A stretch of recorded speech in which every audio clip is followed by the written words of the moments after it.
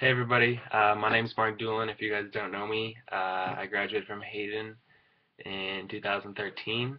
To Start off as and say thank you guys for showing up and supporting Bear River Young Life. Um, I can't be done without you guys, so I just thank you so much for supporting. And I also want to say I'm sorry I can't be there. I had some stuff come up with school, and uh, I just can't make it. Um, start off, uh, Young Life has impacted my life extremely. Um, I really didn't get into it until my senior years when I really started to.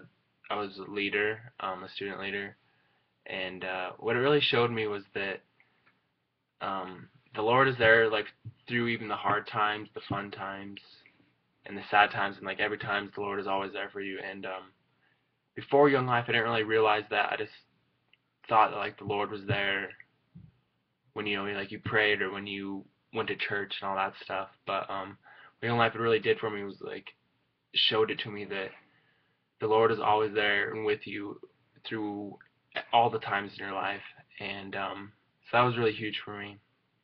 And it's also shown me um, love that I've like really never truly experienced like that, and um, so much in the fact that um, I currently am going to be a leader next semester, so I can show that other love for kids and that love that Jesus has. Like I want to show other kids and like hope that they can experience the same thing I got to experience with how loving that young life can be.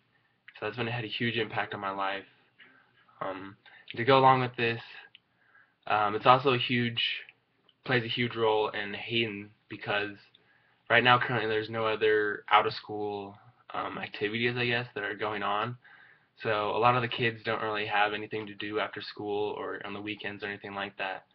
And um, unfortunately, a lot of them go out and party and drink and do stuff they're not wanting to do. Well, that they aren't supposed to be doing. And um, that's where Young Life has a huge role in where they can have someone to go to to hang out and not do stuff that can get them in trouble. And I just, it's essential for Hayden. And um, without your guys' support, it couldn't be happening. And I just thank you so much for um, continuing to support it. And it's playing a huge role. It's affected me greatly, and I know it's affected other kids like me. And so I just thank you guys so much for supporting. And again, I'm sorry I can't be there, but hope you guys have a great night, and God bless.